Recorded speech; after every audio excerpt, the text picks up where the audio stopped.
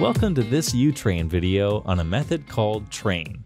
This method is part of our category on team building, group dynamics, and outdoor activities. The method Train is used for group building in training or other educational activities. The method creates a group challenge and provides the group opportunity to practice making strategy together, coordinate among each other, and build trust in interactions together. It's important that the group already had a few ice-breaking activities before performing this method. For the train method, you need to have enough space in the room, or you can implement this method outside, as we demonstrate in this video. You will need blindfolds or scarves, one blindfold less than the number of people in the group. We recommend this method for 12 to 20 participants. The method lasts around 60 minutes, including 30 minutes for debriefing. Here Yulia will guide you through the method. like a lot about this activity that it can be performed outside and you should very carefully prepare the space to check that there is nothing that uh, can be dangerous for, for people who are blindfolded. You need to ensure that there is enough space for the group to move around and also that there are no sharp objects or something that may uh, be not safe.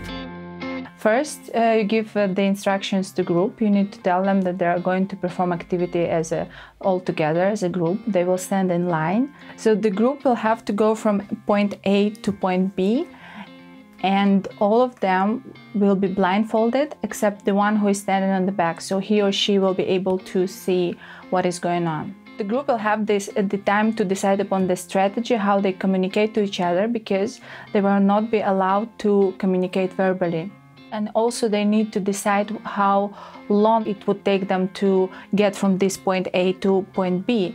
And this will be the challenge that they are taking. So they decide themselves the time that they want to perform the task we as trainers we create some more uh, obstacles for example or change a bit the direction. In the same time of course you should be always keeping them in the full view the whole group and it should be at least two facilitators so the briefing is very crucial part in this method. You cannot just simply do the train uh, method and then go further.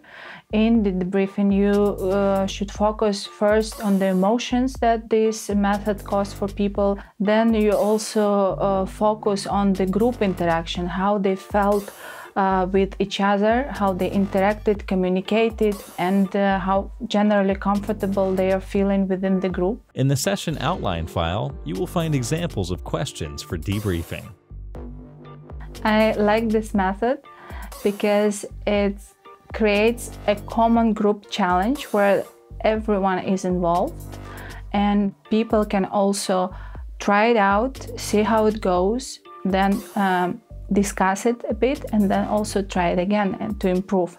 Also, this is a very enjoyable activity for the group because it really gets the feeling of yes, we did it. So I wish you to enjoy it together with the group. Thank you for watching. On the description box, you will find links and support material to implement this method. YouTrain is co-funded by the Erasmus Plus program of the European Union. For more videos on non-formal education, please check out our channel and subscribe.